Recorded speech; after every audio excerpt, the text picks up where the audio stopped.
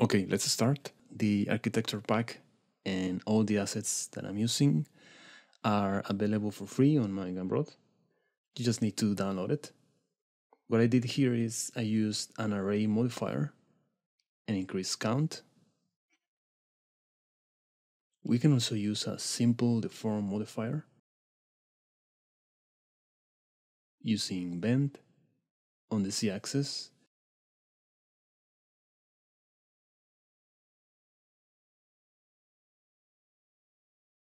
in case it doesn't work we can add an empty and we can use the empty as the origin. And now set the angle. For example 360 degrees. Now if you go into edit mode you can see the topology. That's why I made it that way in case I need to bend the mesh. Maybe we can add some loop cuts with control R now we can add a new array modifier. But this time on the z-axis, and increase count to create a building. Now the textures that I'm using for the floor are from polyheaven.com. You can find many textures here for free. And now let's see how to add the trees. The easiest way is to use an add-on. I like to use BagaPie. To install it in Blender 4.4, go to Preferences,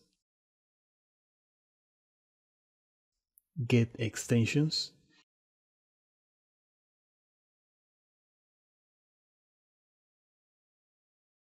find BagaPie, then click on Install. So let's add a plane and I recommend to subdivide it. Make sure to apply the scale and rotation of the plane and the objects that you want to scatter. And now select the tree, shift, select the plane, then press J and scatter paint. We can change the fall off to smooth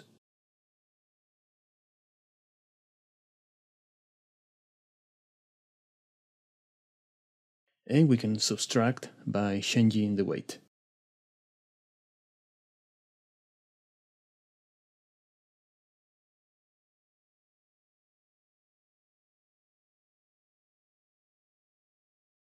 Now, we can also use scatter to add the trees all over the place. Press N. We can make some adjustments like the density, the minimum distance, the scale, and of course we can randomize the rotation. For faster viewport, we can use proxies. Simply hit proxy.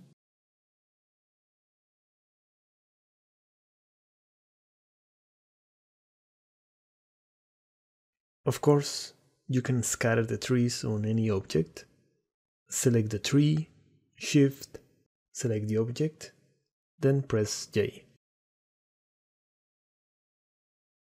If you don't want to use an add-on to scatter the trees, let's see how to do it with geometry nodes. Basically, it's a distribute points on faces connected to an instance on points if you want to see the plane, you can use uh, a join geometry and connect geometry. Now all you need to do is drag the collection with the trees or objects you want to scatter. So you need to send the object or objects to a collection, select the objects, press M, and send it to any collection or a new collection.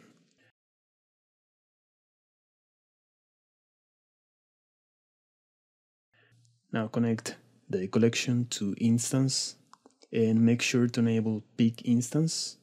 Also separate children and reset children. To randomize the scale, I used a random value node And the same for rotation, a random value, but changed to vector. And now we can randomize the rotation.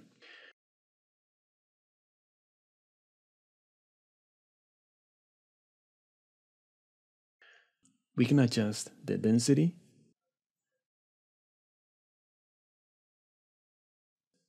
but I'm gonna change to Poisson disk so now we can adjust the minimum distance between objects. Now um, let me add a grid node.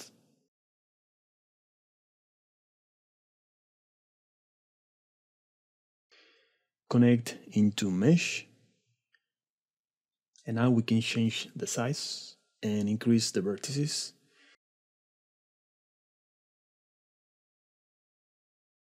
and now you can use uh, this plane in your scenes. And now to prevent the viewport from slowing down in render properties, we can enable simplify. And here we can limit the subdivision levels, the particles, and texture limit. I set it to 1K but this is only for the viewport. In render, make sure there's no limit. For the mountains, I use a height map that I made with Gaea and I scatter some trees. But we can also use the landscape add-on. To enable it, go to preferences, get extensions, and look for landscape.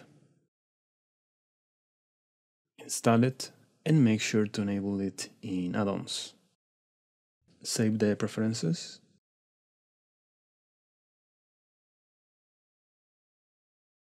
Now Shift A, Landscape. Open the window here. We can choose from some presets. And adjust the properties here so you can create your terrain. I have a tutorial where I explain it. I also explained how to texture it. You can find the link in the description below. Now, in the architecture pack, I have included a brick material in case you need to use it for new objects. Simply drag and drop. Now in the shader editor, you can repeat the texture. I'm using the asset browser. If you don't know how to use it, I have a tutorial on my channel. For the water material, you can use my add-on, it's free. Simply hit add water cube and scale it down.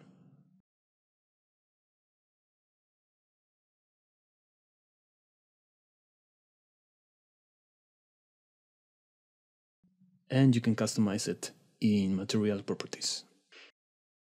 But if you want to make your own shader, I have a separate video where I explained how to make it. Now, this is an image with transparent background. I made it with Photoshop using a water splash brush and save it in PNG. Uh, you can see the nodes here. Simply connect the alpha to alpha in the shader and for the lighting in world properties. Of course, we can use a HDRI, but I prefer to use the sky texture.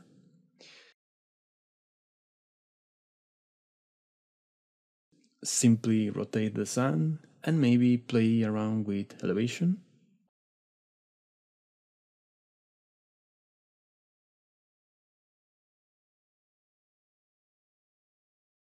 But of course, the sky doesn't look good, so we can replace it. Let's open the shader editor. Change to world. Shift D to duplicate the background. And mix them with a mix shader. Now select the background and Control T. And here we can select an HDRI. I'm gonna select this one, Golden Gate Hills. You can also find it at polyheaven.com. And make sure to connect the HDRI below. Now add a light path and connect into factor.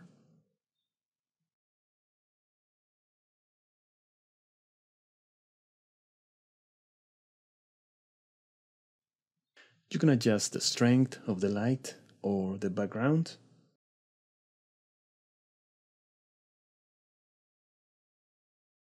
Now let's rotate the background on the z-axis until you find something that you like.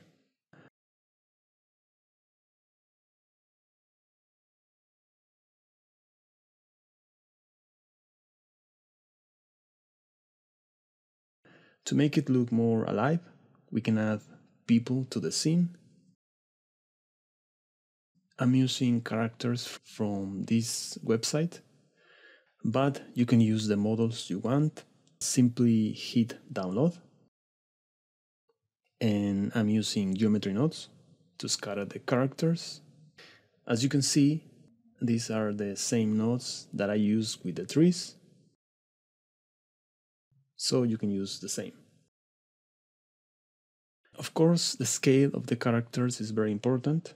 I use the windows of these buildings as reference. Try to match the scale because these windows are bigger as you can see in my reference image. Now we can add an atmosphere. Let's add a cube and scale it up.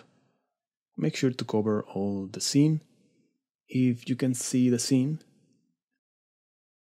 open the N panel and go to View, increase end value until you can see it. For the cube, in Object Properties, under Viewport, we can set it to wire or bounds to make it transparent.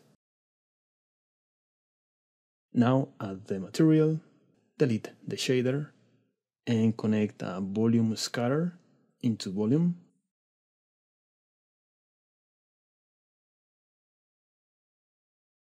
I'm going to change to ready.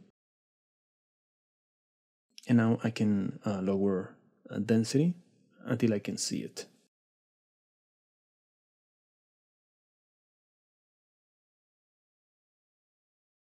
We can add more shadows to the scene. So let's add a plane and scale it up and apply the scale. Now add the material and add the noise texture. Connect it into alpha.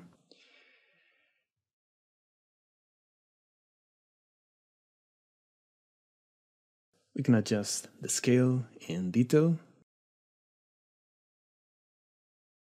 Now add a color ramp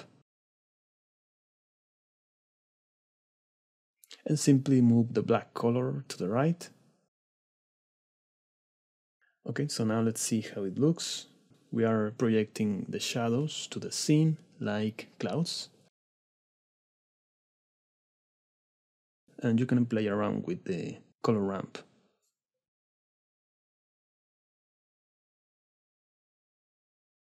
And finally, for the final render, I use the denoise and set the render samples. And that's it. See you next time.